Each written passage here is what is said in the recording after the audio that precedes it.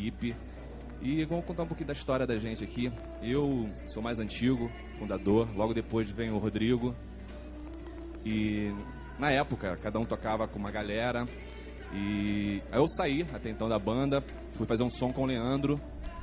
E até então é, me chamaram novamente. Eu resgatei o Leandro para tocar com a gente. E o último componente a entrar foi o Rick, que formou aqui esse quarteto que acho que está agradando e muito. É isso aí. É, vocês falaram que vieram de outras bandas. Como é que é o relacionamento, assim, cara, com as outras bandas? Vocês têm, é, é tem muita competitividade em Petrópolis ou é, é tranquilo só, assim? A, a tocar, a tocar há um, um, tempo atrás a gente era, realmente era uma cúpula, assim, aquela coisa que gente era o nosso som, não era aquele, aquele lance de egoísmo, mas era, era a gente.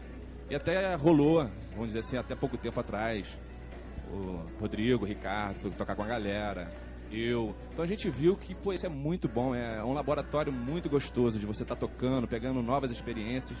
Então acredito que isso abriu muita mente da gente e hoje a gente está fazendo som com a, com a galera e tem o maior prazer de dividir o palco com, com os músicos petropolitanos. Como é que foi aquela experiência de vocês estarem tocando com o Blau Blau lá na, no, no Petro, cara? Aquilo, cara, foi, foi engraçado porque começou onde mesmo? A gente, a gente tocou na noite lá no Rio e era o aniversário do DJ Castejar, Bernard. Aí ele falou, pô, cara, vai ter uns caras pra dar uma canja aí, pode? Eu falei, pô, quem é? Aí o, é, o Blau Blau e o, e o Guilherme Snard do Zero. São bandas dos anos 80, né? Galera do Blau Blau do Absinto e o Snard do Zero. Falei, ah, beleza, cara, a gente ouviu essa galera, vamos, pode vir. Aí foi uma festa, cara. A gente trocou telefone, viramos amigos. Aí apareceu essa festa, anos 80, cafona no Petrô.